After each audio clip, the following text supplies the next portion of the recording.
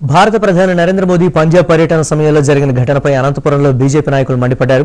ప్రధానికి జరిగిన ఈ అవమానాన్ని ఖండిస్తూ వెంటనే పంజాబ్ సీఎం రాజీనామా చేయాలని డిమాండ్ చేశారు.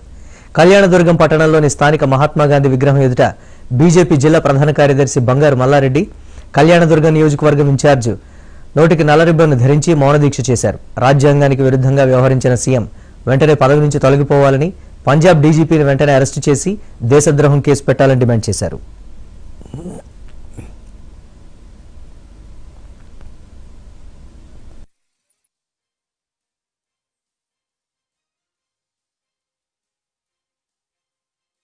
ఈ నెల ఐదవ తారీఖున గౌరవ ప్రధానమంత్రి పంజాబ్లోని ఫిరోజ్పూర్ పర్యటనకు అభివృద్ధి కార్యక్రమాలకు వెళ్ళినటువంటి ప్రధానమంత్రికి భద్రత వైఫల్యం నిరసనగా ఈరోజు పార్టీ ఆదేశాల మేరకు కళ్యాణ్ దుర్గం పట్టణంలోని గాంధీ చౌక్ నందు గల గాంధీ విగ్రహం నందు కళ్యాణ్ దుర్గం అసెంబ్లీలోని భారతీయ జనతా పార్టీ నాయకులు కార్యకర్తలు అందరూ ప్లేకార్డ్స్ పట్టుకుని మౌన దీక్ష చేస్తూ నిరసన కార్యక్రమం తెలియజేయడం జరిగింది.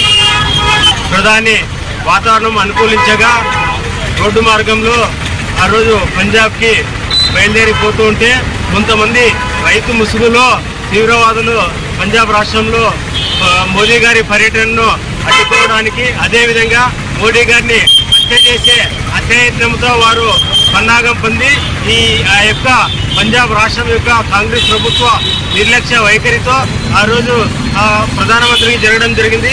కావున అక్కడ ఉన్నటువంటి ముఖ్యమంత్రిని బర్తరాఫ్ చేసి వెంటనే రాష్ట్రపతి పాలన